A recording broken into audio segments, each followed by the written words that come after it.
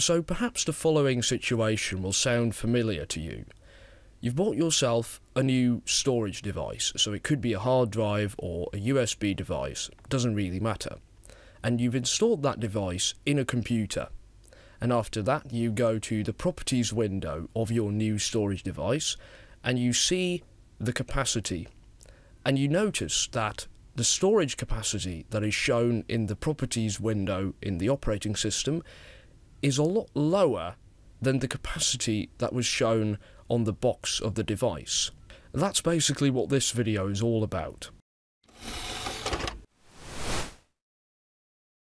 So, as you probably know, a computer converts all the information that goes into it into zeros and ones, so binary. Everything that goes into the computer turns into a certain pattern of zeros and ones. Each one of those zeros and ones is what you call a binary digit or a bit. A bit is an extremely tiny amount of data. It's an even smaller amount of data than a decimal digit. So a decimal digit can have 10 different values, right? 0 all the way to 9. A binary digit or a bit can only have two different values. It's an extremely small amount of data. In fact, it's the smallest possible amount of data. Now, in most computer systems, for practical reasons, these bits are grouped up into groups of 8 bits, which we call bytes. So a byte is simply a group that consists out of 8 zeros or ones. Um, so 4 bytes is 32 bits and 8 bytes is 64 bits. That's how it works. And there is no discussion about that. There is no problem here. Okay, so byte is always just 8 bits. That's perfectly fine. Um, that's not where the problem is. The problem is yet to come. Let's say we have a computer that deals with a very large amount of data. So we could just count the amount of bytes that is stored or processed or whatever this computer does, but that's going to be a massive number. So we might want to use a prefix, so something in front of the word byte that makes it larger. So just like with if you're measuring a, a very long distance, you use kilometer instead of meter because the word kilo makes it a thousand times larger and therefore you don't have to write down this huge number. And we can also do that with bytes, so we can put a prefix in front of the word byte to make it bigger. The first idea might be to just use the word kilo in front of the word byte, which means, technically, a thousand bytes, because kilo means 1000. And then for 1 million bytes, you could use the word mega, and, and so on. But computer scientists don't like this computer scientists say, well, yes, kilo is 1000, but 1000 is not a nice number to work with for the computer, because in binary, 1000 looks like this. It would be better to use the number 1024, because that's, you know, close enough to 1000 so we can still call it kilo, um, but for the computer it's a lot better because it's this in binary. So let's use the uh, let's use 1024 bytes as the kilobyte. Now we've got a problem because now we've got two different versions of the kilobyte. We've got the official version, which is a thousand bytes, and we've got the version of the computer scientists who say no, it's 1024 bytes. And this used to cause a lot of confusion because if someone said one gigabyte of data, you wouldn't know which version of the gigabyte they meant. So, in 1998, the IEC came up with a new system that was meant to fix all of these problems. And here's what they did. First of all, the standard prefixes kilo, mega, giga, tera, and so on, those would all have their official meaning.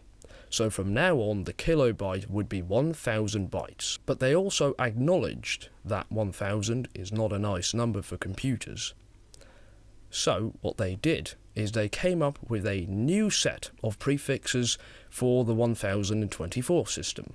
So from now on, 1024 bytes would be called the kibibyte, and 1024 kibibyte would be the mebibyte, and that way it would progress. So great, right? This system fixes all the problems. Now, if you say 1 gibibyte, you mean 1024 to the power of 3 bytes, and if you say gigabyte, you mean 1000 to the power of 3 bytes. Brilliant. We fixed all the confusion, right? No, the problem is not solved because this system has a major flaw, which is that nobody knows about it. Most people, when they say 1 gigabyte, they actually mean 1024 cubed. They are referring to what should be called the gibibyte, but they've never heard of the word gibibyte, so they they just use gigabyte. That's the problem with the system. It's not popular, it's not common. But hold on, it's not just ordinary people who don't get it right. It's also big programs and even operating systems. For example, the Windows operating system that I've got right here um, does it wrong. So the Windows operating system uses the abbreviation GB, which stands for gigabyte, which would be fine if it measures the amount of data in in actual gigabytes, but the problem is Windows uses the 1024 system, so it should be saying GIB or gibibyte. So Microsoft, if you're watching this, please stop doing that, change it, because it's awful. And this also explains why when you install a hard drive, often when you do that, the hard drive manufacturer says 500 gigabytes, and then they will mean, most of the time, sometimes it's not, but most hard drive manufacturers use the 1000 system. So when they say 500 GB, they mean the actual GB, so 500 times 1000 cubed. But the Windows operating system, which uses the wrong abbreviation, doesn't mean GB, it means GIB. It uses the 1024 system. And so when you install that hard drive in your computer, the capacity will be lower because Windows uses a different version of the gigabyte. And again, they should be calling it the gibibyte, right? They should they Microsoft shouldn't be calling this a GB because it's not. And that brings us to the conclusion.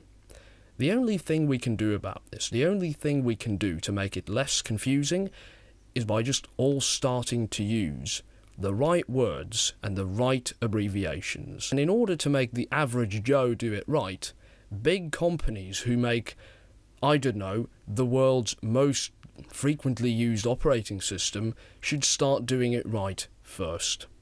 Well anyway, I hope you've enjoyed this video and thank you for watching.